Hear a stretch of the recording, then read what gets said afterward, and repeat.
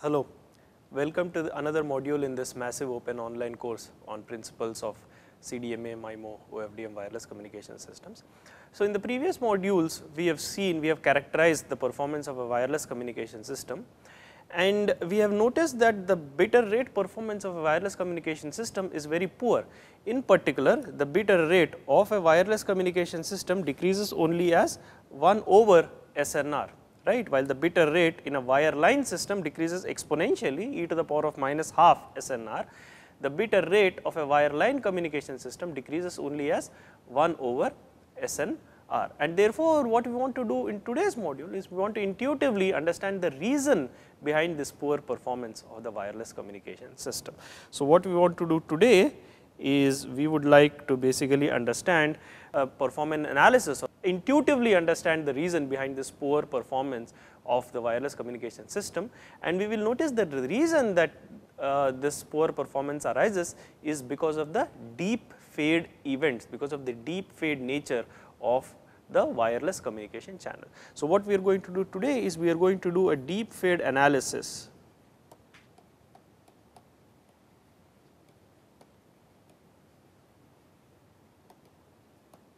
A deep fade analysis of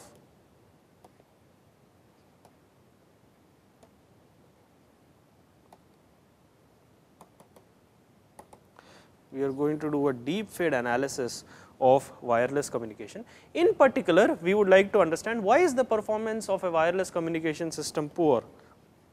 Why is the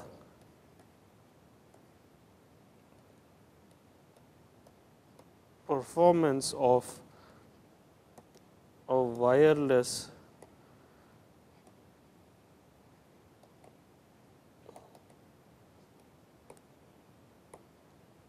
why is the performance of our wireless communication system why is the performance of the wireless communication system poor? And this can be explained on the basis of the deep fade nature of the deep fade uh, deep fade events in the wireless in the fading nature of the wireless communication channel. So, this can be explained or can be explained based on the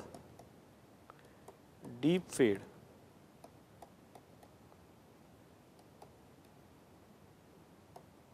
events in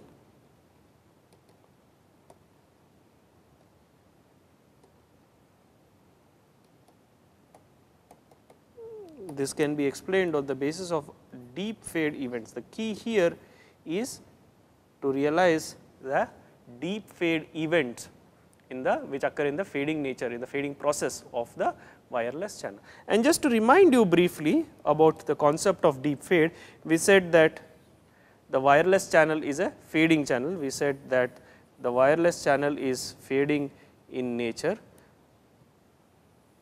correct which means our wireless channel amplitude is varying and at a certain point the wireless channel is there is a drastic this is the fading nature of the wireless channel. So, if you look at this this is the this is my fading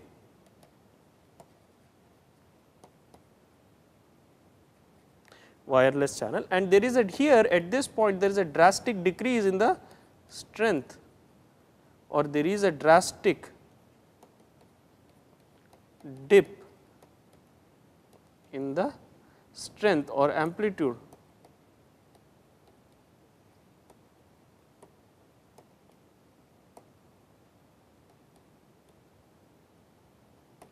right? There is a, at some point there is a drastic dip in the strength or the amplitude of the wireless channel. And this basically this is basically our deep fade and when this occurs we call this our deep fade event. This is basically our deep fade event. Right? And this what we want to understand is what is the impact of this deep fade? How does this impact or how does deep fade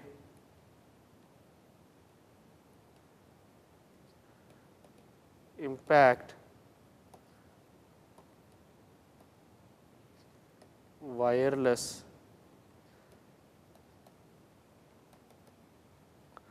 communication. So, what we are saying is there is a fading nature of the wireless channel and at certain points at some instance that amplitude or the received power or the gain of the wireless channel dips significantly and when this significant dip occurs we call that a deep fade event and what we would like to understand is precisely how does how does this deep fade event or how do such deep fade events or what is the impact of these deep fade events on the uh, on the performance of the wireless communication system. And we are going to see that these deep fade events, they have a very significant and a profound impact on the performance of the wireless communication system, all right. So, what we would like to do is first we would like to model the deep fade event. So, consider our fading wireless channel model.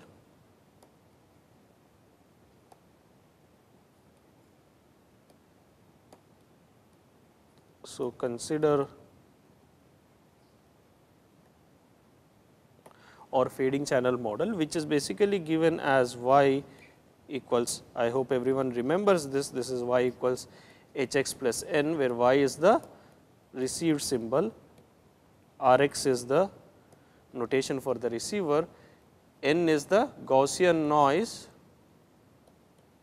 in fact white Gaussian noise of variance or power sigma square my h h equals a e to the power of j phi is the fading coefficient or fading channel coefficient and x is the transmitted my x is the x is the transmitted symbol and therefore, the transmitted symbol has power the power of the transmitted symbol is P. Therefore, we already said that the received power therefore, received power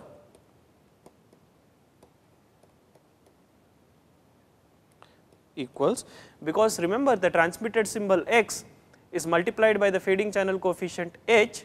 Therefore, the transmit power P is multiplied by the square of the amplitude of the fading channel coefficient. Therefore, the received power is the transmit power P times magnitude h square which is basically a square. So, that received power is equal to P transmitted power times magnitude of h square which is basically P times a square or which is equal to a square times P. And the noise power we have already seen the noise power equals sigma square. So, noise power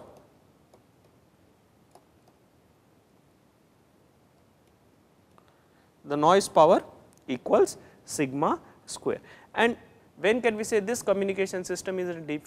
The performance of the communication is system is very poor when the received power is less than the noise power because the received signal is below the noise threshold then obviously you cannot detect the signal or you cannot differentiate the signal from the noise right. So, the performance, so the system is in a deep fade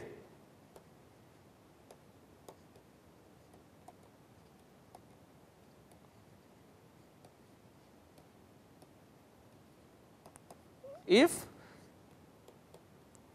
signal power is lower signal power is lower than the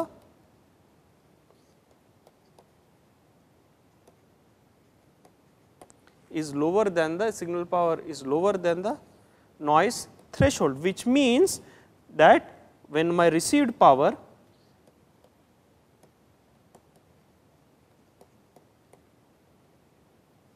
is less than the noise power which is sigma square, which means to say that a square p is less than sigma square. And this basically corresponds to this event corresponds to our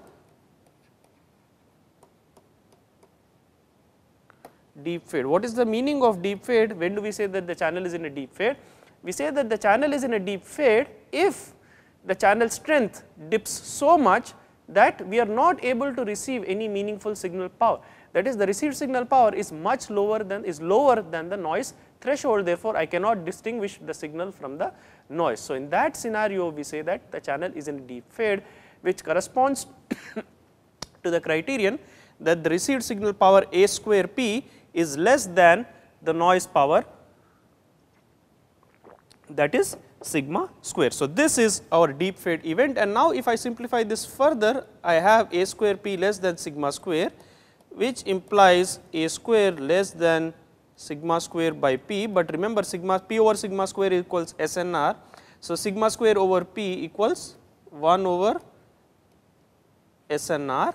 So, this implies a square is less than 1 over SNR or a is less than 1 over square root of SNR. So, my deep fade criteria, so fading coefficient is so poor that A is less than 1 over square root of SNR. So, fading co if the, the fading coefficient A amplitude of the fading coefficient A is less than 1 over square root of SNR, we the received signal power is less than the noise threshold and therefore, we say that the channel is in a deep fade. So, our deep fade condition in terms of SNR, so deep fade occurs our deep fade our deep fade occurs when a is less than 1 over square root of SNR. So, this is basically our condition for the deep fade. And now therefore, we can ask at this point now therefore, one can ask one can naturally ask what is the probability of deep fade. So, we have identified the condition for a deep fade.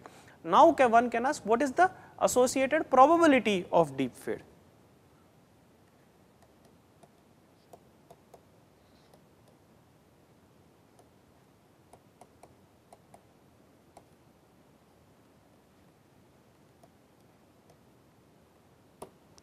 What is the probability of this deep fade? Well, the probability of the deep fade which I am denoting by P of df, this is the probability of deep fade. This is equal to the probability that A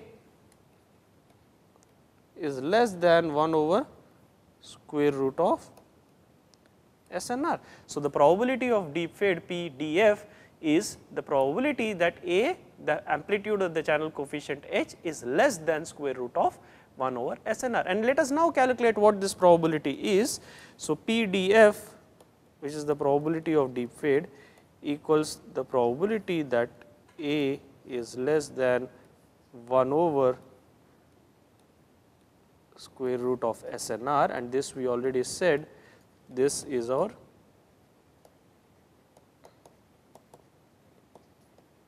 probability of this is our probability of deep fade. Now, the probability that A is less than 1 over square root of SNR is the distribution of A distribution of the random variable A integrated from 0 to 1 over square root of SNR. That is if I want to find the probability that the fading channel coefficient A lies between 0 and 1 over square root of SNR, I have to integrate the distribution between the limits 0 to 1 over square root of SNR. And remember our channel is a Rayleigh fading channel therefore, f of A the distribution is 2A e to the power of minus A square. Therefore, the probability is given by the integral between the limit 0 to 1 over square root of SNR to A e to the power of minus A square dA where this is our Rayleigh fading density. This is our Rayleigh density. And now you can see this integral 2a e to the power of minus a square equals minus e of minus a square evaluated by between the limits 0 to 1 over square root of SNR which is basically equal to 1 minus e raised to minus 1 over SNR. So, this is basically equal to, so the probability of deep fade PDF equals, so the probability of a deep fade, the probability that the deep fade occurs equals 1 minus e raised to minus 1 over SNR.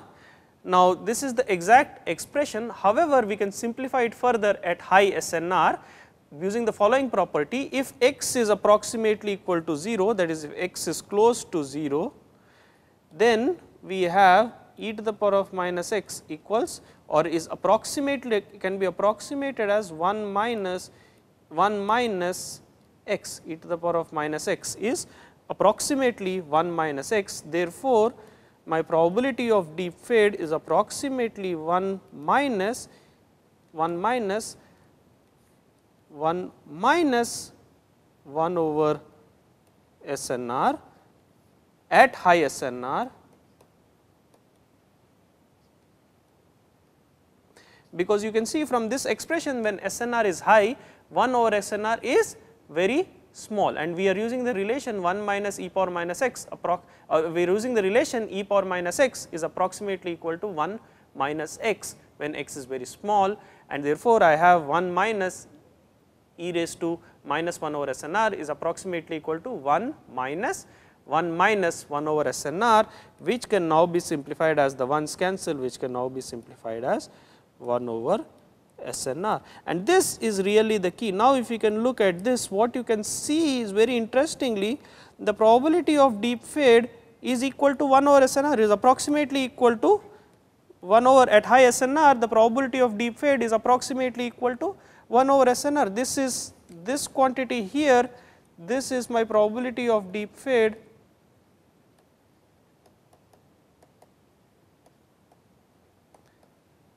this is my probability of deep fade at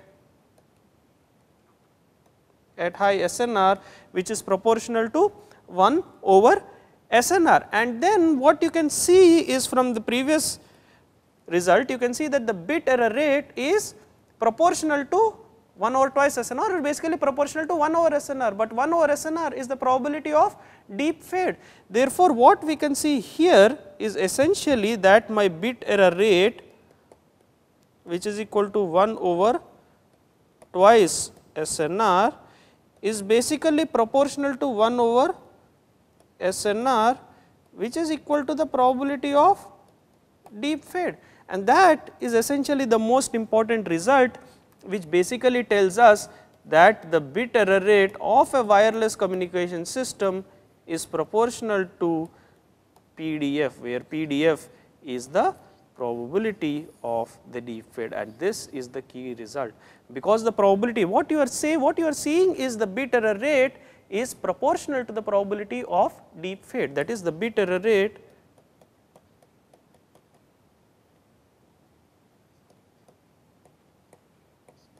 is proportional to probability of deep fade and this basically captures the property of the important property that the bit error rate, the high bit error, the bit error rate is proportional to the probability of deep fade and the high bit error rate that you observe in the wireless communication system arises due to the deep fade due to the frequently occurring due to the deep fade events in the fading nature of the wireless channel. So, the poor performance of the wireless communication system. So, the poor performance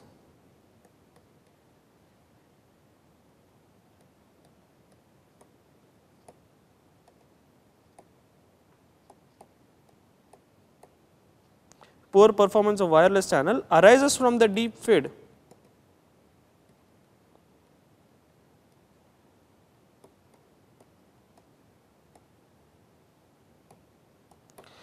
And in turn we have said that deep fade events occur because of the strong destructive interference when these multipath uh, multiple signal copies from this multipath propagation environment interfere with each other and they cancel that results in a deep fade the strong destructive interference. So, we have already said the destructive interference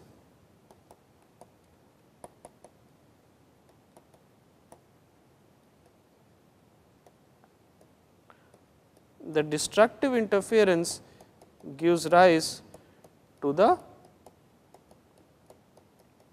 to the destructive interference in the wireless uh, communication system or the destructive interference of the wireless channel gives rise to the gives rise to the deep fade and that is what significantly impacts the bit error rate. In fact, that results in a significant increase in the bit error rate of the wireless uh, communication system and that is that is the reason. So, the deep fade events have a profound impact on the performance of a wireless communication system in that they significantly degrade the performance of the wireless communication system. And therefore, now we have to understand what are the techniques, how can we combat this fading or how can we overcome this disastrous effect of this fading or this deep fade events in the wireless communication channel or the wireless communication system to improve the performance of the wireless communication system. So, what we are going to look at now is we would like to we would like to improve improve performance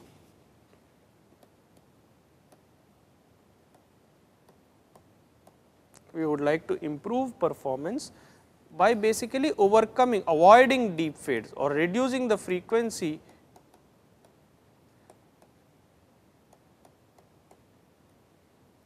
avoiding deep fades that is avoiding deep fades or overcoming the deep fades or overcome overcome the effect of these deep fade events. And how do we do that? This is possible through the principle of diversity. This is possible through the principle of diversity. So, what we would like to do is we would like to understand how to overcome this uh, uh, the degrading effect of this poor bit error, the degrading effect of these deep fade events and the answer to that, the key to that lies in this concept called diversity. That is diversity is the important principle or is the important property that we will use to overcome the impact of fading and thereby improve the performance of the wireless communication system. Alright. So, let us stop this module here and we will talk more about the properties of diversity or more about uh, this principle of diversity in the subsequent modules. Thank you very much.